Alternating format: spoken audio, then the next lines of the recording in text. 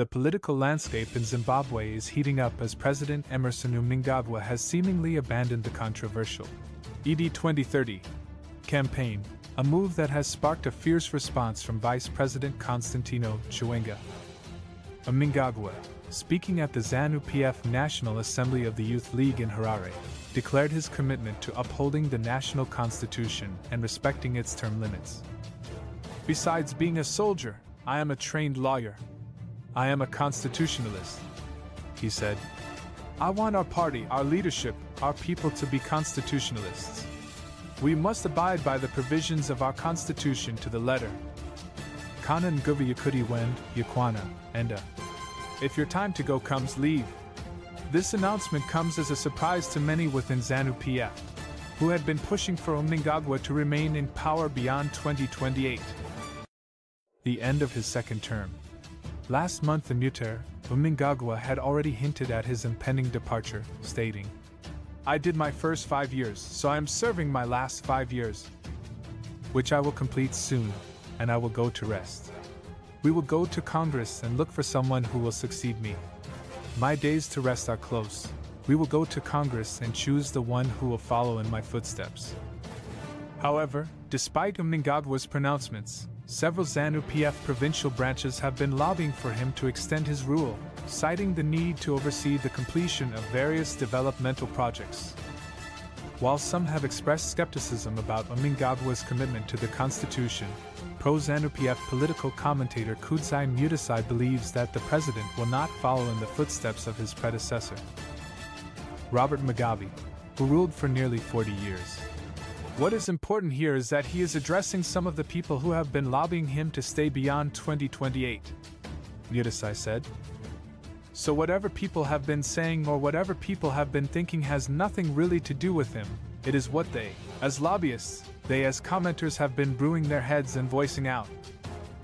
But what we heard is the president's voice, the president's position, and that's what we should respect and stick to as we go forward.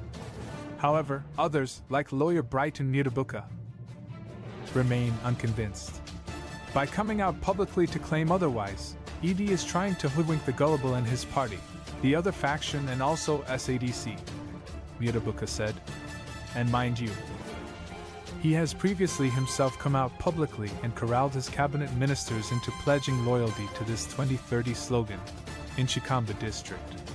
The debate over Mnangagwa's intentions has been further fueled by the recent actions of Vice President Constantino Chiwenga.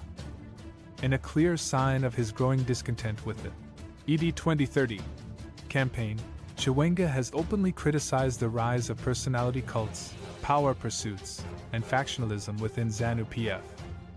Chiwenga, who has notably refrained from endorsing the ED 2030 slogan stressed that loyalty should lie with the party and the people of Zimbabwe, not with individual leaders.